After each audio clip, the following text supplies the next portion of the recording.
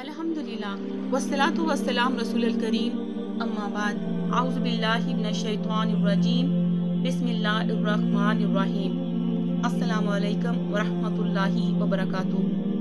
القرآن، سورة البقرہ، آیات نمبر ایک سے لے کر دس تک. ترجمہ اللہ کے نام سے شروع، جو نہایت مہربان، بہت رحم کرنے والا ہے. یہ کتاب ہے جس کے نازل ہونے میں کوئی شک نہیں، ہدایت ہے. متقین کے لیے۔ وہ جو غیب پر ایمان لاتے ہیں اور وہ نماز کو اس کے عداب کے ساتھ قائم کرتے اور جو کچھ ہم نے ان کو عطا فرمایا ہے، اس میں سے خرچ کرتے ہیں۔ اور وہ لوگ جو اس پر ایمان لاتے ہیں، جو آپ کی طرف نازل کیا گیا اور جو آپ سے پہلے نازل کیا گیا اور وہ آخرت پر یقین رکھتے ہیں۔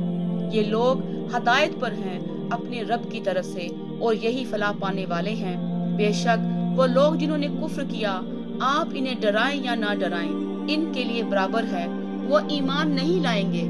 اللہ نے ان کے دلوں اور ان کے کانوں پر مہر لگا دی ہے اور ان کی آنکھوں پر پردہ ہے اور ان کے لیے بہت بڑا عذاب ہے۔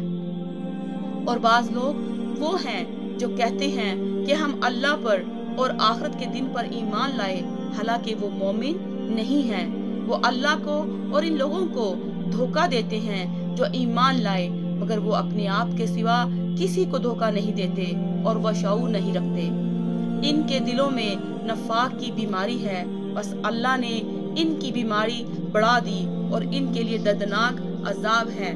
اس بنا پر کہ وہ جھوٹ بولتے تھے۔ آیات تین دو۔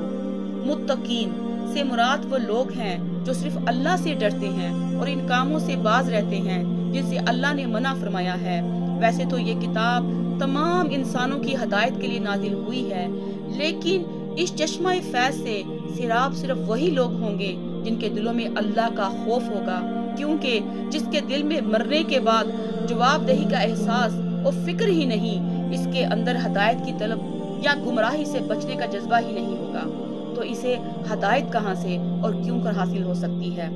نمبر دو، غیب کے لغوی معنی ہے اندیکھا تاہم یہ لفظ بڑی جامعت اور وسط رکھتا ہے۔ اس میں وہ تمام چیزیں داخل ہیں جن کا ادراک دنیا میں عقل سے ہو سکتا ہے، نہ ہوا سے۔ جیسے وجود باری تعالی، ملائکہ، حیات، بعد الممات وغیرہ۔ ایمان بالغیب سے مراد اللہ اور اس کے رسول صلی اللہ علیہ وآلہ وسلم کی بتائی ہوئی ان تمام باتوں پر یقین رکھنا ہے جو عقل و ہوا سے ماورہ ہے۔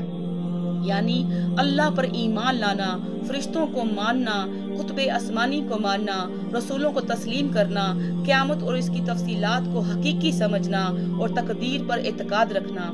اسی طرح اللہ اور اس کے رسول صلی اللہ علیہ وسلم نے ماضی، حال اور مستقبل کے جن امور کی خبر دی ہے، انہیں بالکل برحق اور اٹل ماننا بھی، ایمان بالغیب کا ایک ضروری حصہ ہے۔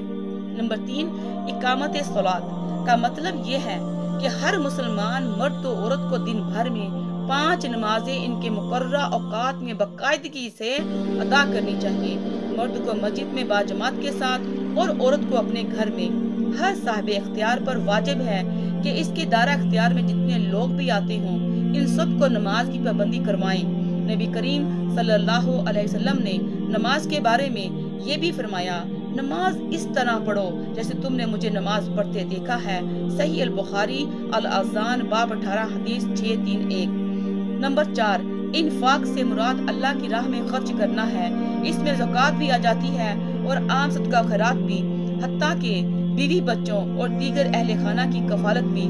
بشرط کے حاصل کردہ مال صرف حلال ذرائع پر مبنی ہو۔ زکوٰۃ سے مراد یہ ہے کہ ایک مسلمان کا ملکیتی مال و جائیداد وغیرہ جب ایک مخصوص نصاب کو پہنچ جائے اور اس پر پورا سال گزر جائے تو اس کا ایک متعین حصہ مسلمان معاشرے کے غربہ مساکین کا حق ہے جسے ان تک پہنچانا واجب ہے۔ والسلام علیکم ورحمۃ اللہ وبرکاتہ۔